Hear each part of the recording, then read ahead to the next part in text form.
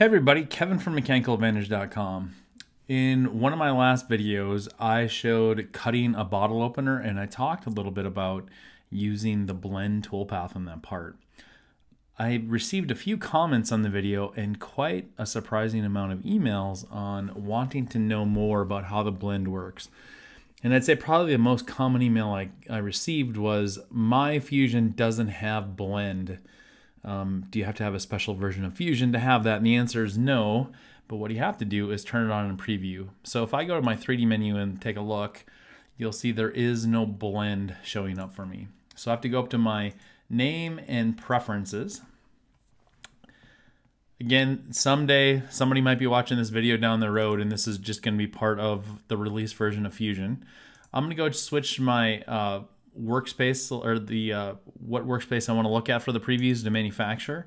And then if I scroll down a bit, I'll find the blend strategy. I'll hit apply and okay. It may ask you to accept some Google Analytics information so that Autodesk can uh, do a little bit of analytics on how you're using the command or how often you're using command. I don't exactly know what they do with the data. Um, and now if I go to the 3D menu, you'll see that blend appears. So now I have a new toolpath in here called blend. I should have pointed out something else while I was in preferences. Let's pull this up for a second. I want to just make a quick note about this. When we go and look at preview features, you'll see that there are little um, icons in this in this list, kind of a legend. The green eye means that it's a public preview. Everybody's gonna can use it and everybody's gonna get it. Um, the locked is an insider preview feature, meaning that uh, the CAM team or CAD team or whoever might be has given access to some users. And then you'll see that there's also this symbol, meaning that you may be able to use it during the preview. When it's released from preview, however, it's going to be released into the manufacturing extension.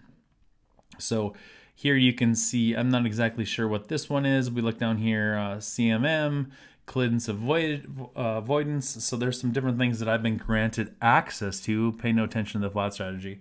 Um, as we go through and see some of these different things that are on here. So I'm going to go ahead and hit OK and now just explain that little legend a little bit so that you're not surprised when you're using a feature and it comes out of preview and maybe it goes into the extension and you no longer have access to it just be aware that they're letting you know ahead of time that that's going to be the case.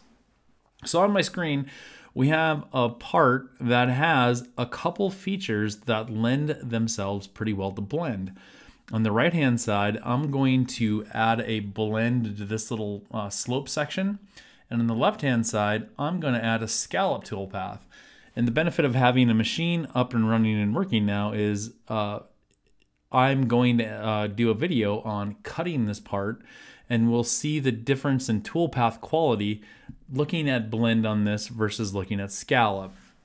So let's go ahead and jump in and get to the cam part. You can see I've got a setup already created.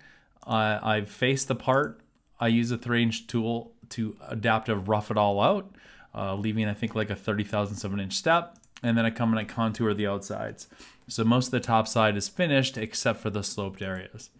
So what I want to do now is go to the 3D menu and select blend. And I'm gonna go select a tool out of my list in this document. I have this 3 8 inch ball mill set up and I'm gonna go ahead and select that. And now I wanna go to my geometry. What you have to do first is select the drive surfaces. So it's a little different than most of the toolpaths in Fusion where you uh, define an outside boundary. With this, we're gonna define the surfaces that we want to be machined. So I'm gonna click on those surfaces. Next, we have to define a drive curve. So I'm gonna use this bottom edge as my drive curve and the top edge as my drive curve. To get started with that, I'm gonna hold the Alt key down. I'm gonna click on this edge once. I'm gonna click it a second time. And then I'm gonna click where I want it to stop and the green plus to lock that in. That's going to be my first drive uh, curve. I'll repeat the same process up top. Click it once, click it twice, click where I want it to stop, green plus to lock that selection in. And that is going to be my drive curves and my drive surfaces.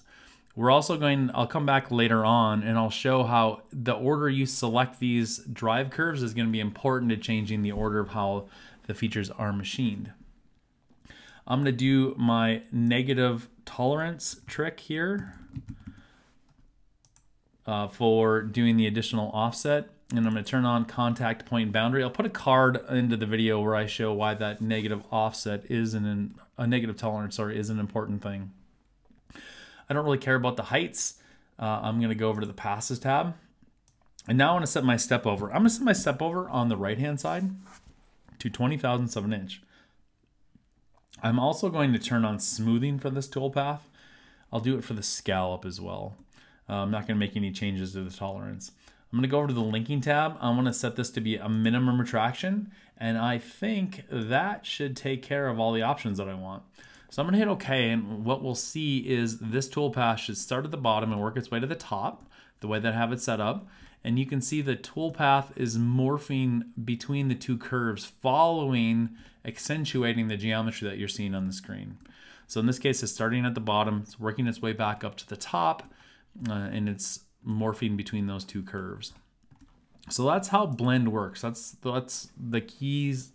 That's the keys to sort of understanding how blend is. Let's go do a scallop and we'll come back to blend and talk about a couple more things. So on the 3D menu, I'm gonna go and select scallop from the list. And now I'm gonna use that same tool. I have to go select my uh, machining boundary. So I'm just gonna go put my mouse over an area where I want this to uh, machine. And I'll just click on that once. I'm gonna click on a second time and now see if I can expand this out to get the regions that I want. Just kind of move that around. And finally I get the the path that I want that to go on. I'll hit green plus to lock that in. I'm going to do a lot of the same thing, so negative tolerance. I'm just to hit enter there. Oop, and uh, let's edit that. I hit enter instead of just, uh, let's go back to that. And so there's my negative 4 tenths. It would be negative tolerance. I'm to check the box for contact point boundary. And I'm to go over to the passes tab. And on this side, I'm to do a 0.01 step over. If you remember, on the on the blend side, I did 20. On the scallop side, I'm to do 10 just to show that even with the smaller step over, you might get a toolpath that matches the geometry to look nicer than a toolpath that doesn't at a smaller step over. I don't know exactly the result that we're going to get, so we're going to have to walk out to the machine and actually cut this and look at the differences between the two, which is sort of the cool part again about having a machine where we can do these kinds of things. I'm going to go to the linking tab and I'm gonna do a minimum traction again and I think I'm okay with those options. I'll hit okay. And now we get our toolpath. And like I always say in the classes, it looks pretty good, but you always see some of the kryptonite to this uh, kind of a Superman toolpath. You see that you get these seams that where the boundary collapses on itself. If you search YouTube for Rob Lockwood, he's got a pretty good video on sort of making scallop do what you want and eliminating some of these seams and making the geometry work a little bit better. But I'm just going to use scallop as it is out of the box. And there we get our uh, two tool paths. So if I were to go to my simulate now, I'm just going to simulate the entire thing. And let's hit play. I'm to slow this down just a tish, I think. Speed it back up. So you're gonna see we're gonna face this part. Then we're gonna do the rough, the uh, adaptive roughing on here. Do the pockets, and now it's gonna start to step up the walls and kind of cut that taper. And do the same thing over there. It'll do a contour around the outside a couple times, clean it up, and now we're in the blend tool path. So you can see that the, the cutter is really following the geometry path working from the bottom up the way I have it set up. So I'll slow it down a little bit for when it gets to the scallop so we can kind of see the difference on how scallop works. It's going to jump over and you can see it's circling from the outside in as it's collapsing around. And eventually there's no more material to cut on some of the areas and so it just starts to only focus on a smaller and smaller area. Again, we're going to see those seam lines and um, kind of the drag marks across the part as it transitions between those two tool paths. So there is our blend on the right, scallop on the left. Now I talked about I was going to show one more thing with this. If I was going to do a 3D and blend one more time, same tool, geometry, my drive surfaces are again going to be the same surfaces that I did before my drive curves, this time I'm going to select them in a different order. I'm going to alt select the top edge as I go across here, green plus to lock that in. and alt select the bottom edge, go across here, green plus to lock that in. I'm going to do an additional offset one more time of negative tolerance. Select that out of the list, check the box for contact point boundary, and I'm going to go back over to my passes and do my 20 thousandths of an inch in my minimum retraction, and I'll hit OK. And this time what we should see is that the toolpath goes from the top to the bottom. So in this case, it starts at the top and goes to the bottom because I selected the drive, first drive curve on the top this time instead of the bottom. So those are uh, some of the ways that the blend toolpath works. Blend is currently in development, so it's not fully ready yet. It's actively being developed and fixed and improved and different things that are happening to Blend. Um, but I think you'll find that, and there's a lot of instances where Blend does a really nice job of following the geometry and giving you a toolpath that's visually appealing compared to some of the other toolpaths that we have available. I look for a, a, video very shortly, probably just in a couple days, of going out to the machine and cutting this part. And we'll take a look at the cut quality of these two surfaces and see if we like one more than the other. And I have a feeling we're going to like the blend better, even with the larger step over. So I haven't run this part. I don't know. That's my gut feeling. So hopefully that helps to explain and understand what blend is a little bit. If you have any questions, go ahead and leave them in the comments below. As always, you can email me too at kevin at mechanicaladvantage.com like many of you did for the last video. So appreciate the emails. I always try to respond to them.